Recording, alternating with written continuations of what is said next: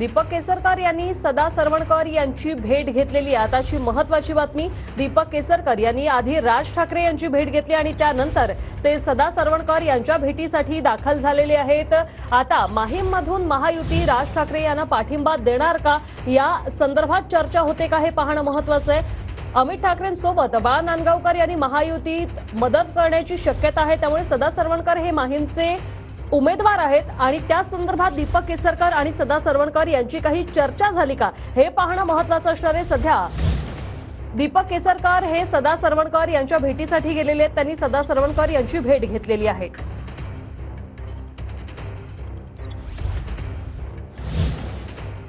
काही वेळापूर्वी दीपक केसरकर हे राज ठाकरे यांच्या भेटीसाठी गेले. मात्र मोजून दोन मिनिटातच ते लगेच बाहेर आले. आता मुख्यमंत्र्यांचा निरोप देण्यासाठी ते राज ठाकरे यांच्याकडे गेले होते का हे पाहणं अशी देखील चर्चा आहे. सध्या दीपक केसरकर यांनी सदा सरवणकर यांची भेट घेतलेली आहे.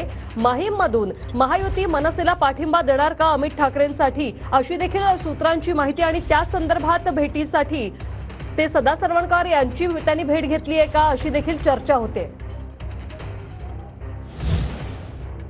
आमचे प्रतिनिधी विनायक आपल्यासोबत थेट जोडलेले आहेत. विनायक या भेटी संदर्भात काय सांगाल?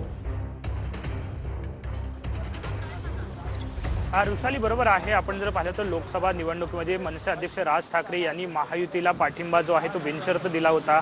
त्यानंतर आता अमित ठाकरे राज ठाकरेंचे पुत्र आहेत आणि ते विधानसभेच्या रिंगणात उतरले आहेत. त्यामुळे महायुती आता अमित ठाकरे यांना माहीम विधानसभेमध्ये मदत करते का हे बघावं लागेल. सकाळी आशिष शेलार यांनी सुद्धा सूत्रवाद जे आहे ते केलं आपल्याला पाहायला मिळाला. शेलार असे म्हणाले की महायुतीने विचार जो आहे तो करावा आणि अमित ठाकरेंना पाठिंबा द्यावा. दुसरीकडे दीपक केसरकर जर जर आपण पाहिलं तर सकाळी त्यांनी राज ठाकरे यांची भेट घेतली. आता अ, सरवणकर यांची भेट घेतलेली आहे. त्यामुळे माहीममध्ये महायुती जी आहे ती अमित ठाकरे यांना मदत करू शकते. अशी माहिती मिळते. दुसरी एक अपडेट आपल्याला मिळाली की बाळा नांदगावकर.